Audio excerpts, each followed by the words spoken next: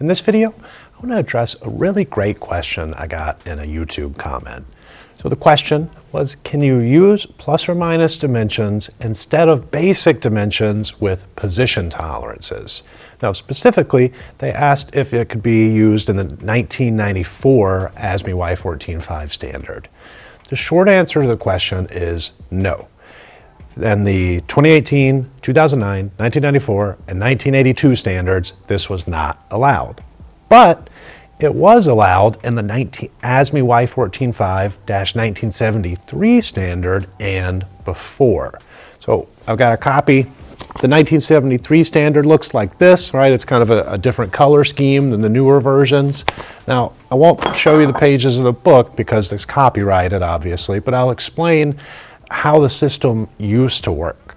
So in the 1973 standard, you could use what are known as implied datums. So you could have a position tolerance with basic dimensions and not call out any datums on the part. It was understood that the datums were the places where the dimensions come from, which makes sense with some parts. So I've got an example here. We've got a position tolerance and it's written funny because that's how they did it in the 1973 standard, okay? So we would assume in this part that this is a datum and this is a datum, straightforward enough.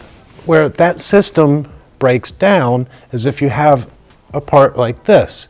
We've got two diameters with a third diameter as a hole going through the part. Now I've identified this hole as being positioned with no datum references. So when you go to measure this part, you'll get a different result if you capture this diameter and then measure the hole, rather than if you capture this diameter and measure the hole. You can't capture both at the same time. So this can lead to uh, non-repeatability in measurements depending on how somebody decides to measure the part. So that's not going to work, and they discontinued that practice in the 1982 standard. 1982 standard you have to use basic dimensions and datums, uh, explicit datums in the feature control frame.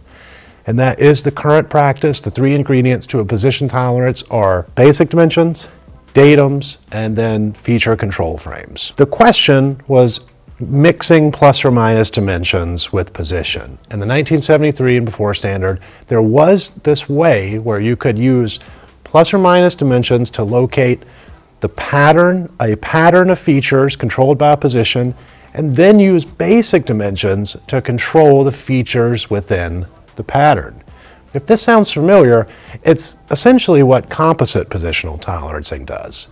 To make it more confusing, in the 1973 standard, they also had composite positional tolerancing. The reason they did this, in my estimation, is that they were moving from plus or minus tolerancing that a lot of people would still use to GD&T, and they wanted to provide the maximum flexibility for companies that were transitioning. So they were allowing things that didn't make sense GD&T wise, but made sense as far as getting companies to buy into the system. Now, in this example, we've got a basic dimension between the two features controlled by the position, but plus or minus dimensions between the pattern and the sides of the part.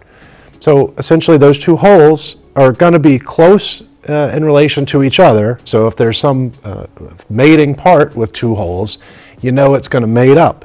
But the outside of the part has a good bit of tolerance, right? So the holes can float relative to the outside of the part as long as they're uh, located to each other within this 30 thousandths. And you additionally get that round tolerance zone and the ability to use the MMC modifier, which you don't get if you just used plus or minus tolerances.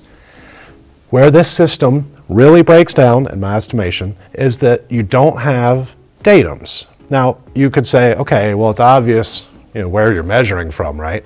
Well, when you go to actually inspect it, you've got to set up. So here's an example. I don't have a, a block with two holes, but bear with me. So you're going to set this part up to measure it. Okay, so we got our surface plate. We'll set the part down on that. Now we've got an angle plate. Okay, so we're going to measure the height of the part from our surface plate, right, with a, like a height gauge. And now we're going to flip the part to measure the height in the other direction. Okay? So we've got to decide whether we want to measure it like this, right, where this entire surface is flush with the surface plate, or push it up against the angle plate where only one, port, one portion of the part is touching the surface plate. So if we do it this way, we're going to get a reading here. If we do it this way, we'll get a reading there. Okay, now that's not a perfect explanation. I'll put a card up here on how to actually do it. You'd really uh, set, you'd really set the, the larger side of the part against the angle plate and the smaller against the surface plate, but I think this illustrates the concept pretty well. So what happens with a part like this is it matters how you set it up to measure it because you're usually going to be using a gauge pin with a height gauge to get your x and y coordinates. So you're going to you're not going to get as much repeatability with this setup as if you just set it up with datums A, B, and C. Okay, so let me just show you since we're here. If we wanted to modernize this drawing,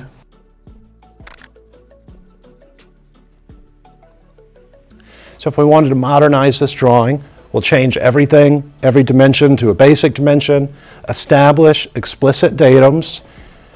We'll use the symbol for diameter in front of the tolerance instead of, you know, uh, the abbreviation behind it.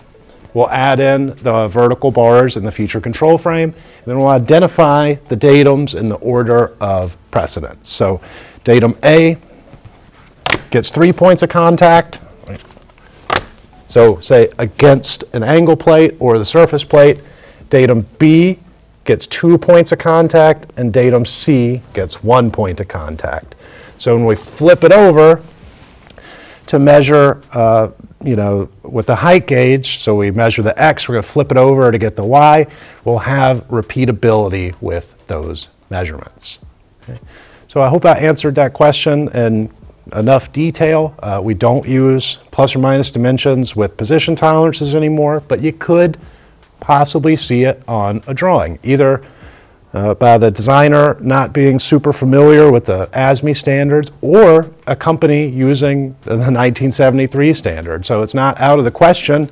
Uh, I've seen plenty of brand new drawings with made to the 1982 standard. Companies hate to uh, update these, so it's possible somebody could be working to the 1973 standard now, and then you might just see this out there, you know, anyhow. If you enjoyed the video, please like and subscribe. Leave a comment down below.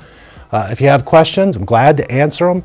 Really helps me if you send me an email with a, a snippet of the drawing you're, you know, have a question about, and that, you know, I can give you a better answer in that way. So I'll see you next time. Stay tuned for more GD&T videos.